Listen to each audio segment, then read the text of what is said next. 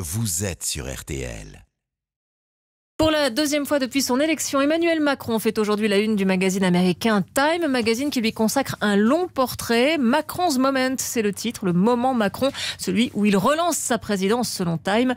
Euh, Philippe Corbet, vous êtes aux États-Unis pour RTL. Le chef de l'État revient notamment sur la crise des Gilets jaunes.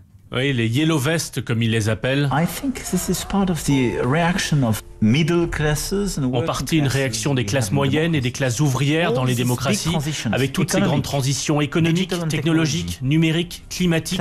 Le résultat principal, c'est que vous n'améliorez pas la vie quotidienne et vous augmentez le niveau de peur. And you increase the level of, of fear. Il ajoute La crise des Gilets jaunes a été très bonne pour moi car elle m'a rappelé qui je devais être. Time souligne qu'il est surnommé le président des riches, décrit comme un arrogant je sais tout. I think this is the French system. C'est le système français, répond Emmanuel Macron. Dans notre pays, nous aimons être dirigés And we want to kill the leaders. et nous voulons tuer les dirigeants.